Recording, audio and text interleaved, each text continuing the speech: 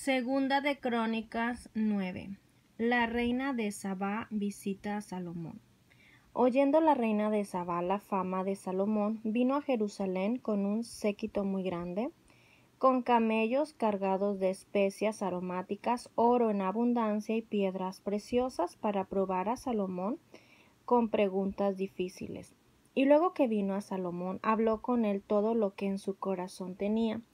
Pero Salomón le respondió a todas sus preguntas y nada hubo que Salomón no le contestase. Y viendo la reina de Sabá la sabiduría de Salomón y la casa que había edificado, y las viandas de su mesa, las habitaciones de sus oficiales, el estado de sus criados y los vestidos de ellos, sus maestresalas y sus vestidos y la escalinata por donde subía la casa de Jehová, se quedó asombrada.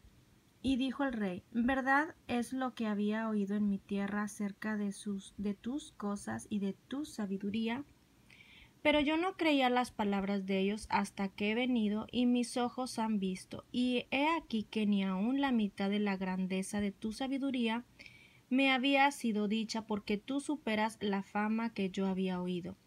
Bienaventurados tus hombres y dichosos estos siervos tuyos que están siempre delante de ti y oyen tu sabiduría.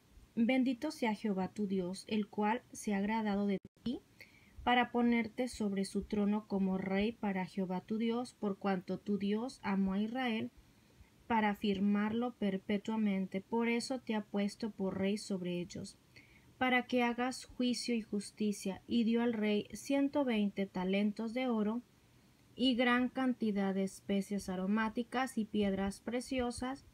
Nunca hubo tales especies aromáticas como las que dio la reina de Sabá al rey Salomón. También los siervos de Hiram y los siervos de Salomón, que habían traído el oro de Ofir, trajeron madera de sándalo y piedras preciosas. Y de la madera de sándalo el rey hizo gradas en la casa de Jehová y en las casas reales, y arpas y salterios para los cantores. Nunca en la tierra de Judá se había visto madera semejante. Y el rey Salomón dio a la reina de Saba todo lo que ella quiso y le pidió más de lo que ella había traído al rey Después ella se volvió y se fue a su tierra con sus siervos, riquezas y fama de Salomón. El peso del oro que venía a Salomón cada año era seiscientos sesenta y seis talentos de oro, sin lo que traían los mercaderes y negociantes. También todos los reyes de Arabia y los gobernadores de la tierra traían oro y plata a Salomón Hizo también el rey Salomón doscientos paveses de oro batido, cada uno de los cuales tenía seiscientos ciclos de oro labrado, asimismo trescientos escudos de oro batido, teniendo cada escudo trescientos ciclos de oro, y los puso el rey en la casa del bosque del Líbano. Hizo además el rey un gran trono de marfil y lo cubrió de oro puro. El trono tenía seis gradas y un estrado de oro fijado al trono, y brazos a uno y otro lado del asiento. Y los leones que estaban junto a los brazos, había también allí doce leones sobre las seis gradas a uno y otro lado. Jamás fue hecho trono semejante en reino alguno. Toda la vajilla del rey Salomón era de oro y toda la vajilla de la casa del bosque del Líbano de oro puro. En los días de Salomón la plata no era apreciada, porque la flota del rey iba a Tarsis con los siervos de Irán, y cada tres años solían venir las naves de Tarsis y traían oro, plata, marfil, monos y pavos reales. Y excedió el rey Salomón a todos los reyes de la tierra en riqueza y en sabiduría, y todos los reyes de la tierra procuraban ver el rostro de Salomón, para oír la sabiduría que Dios le había dado.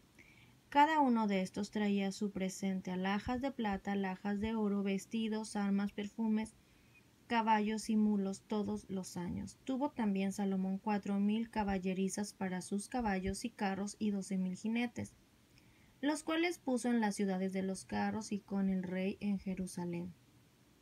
Y tuvo dominio sobre todos los reyes desde el Éufrates hasta la tierra de los filisteos y hasta la frontera de Egipto, y acumuló, acumuló el rey plata en Jerusalén como piedras, y cedros como los cabraigos de la cefela en abundancia. Traían también caballos para Salomón de Egipto y de todos los países. Muerte de Salomón. Los demás hechos de Salomón, primeros y postreros, no están todos escritos en los libros del profeta Natán, en la profecía de Ahías Silonita y en la profecía del vidente Ido contra Jeroboam, hijo de Nabat. Reinó Salomón en Jerusalén sobre todo Israel cuarenta años. Y durmió Salomón con sus padres y lo sepultaron en la ciudad de David su padre y reinó en su lugar Roboam su hijo. Amén.